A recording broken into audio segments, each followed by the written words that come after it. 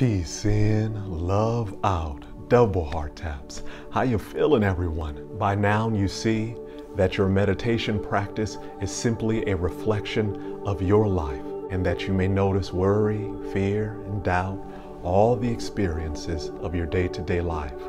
But what you also see is that you have this inner strength, a capacity to meet it and to choose a more mindful and skillful way of responding. Coming into an upright and comfortable seated position, closing your eyes if it's safe and comfortable to do so, taking a deep breath in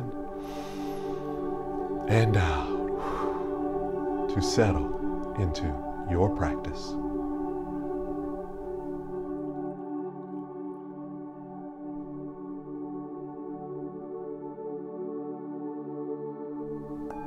Well practiced, friends. Double heart taps.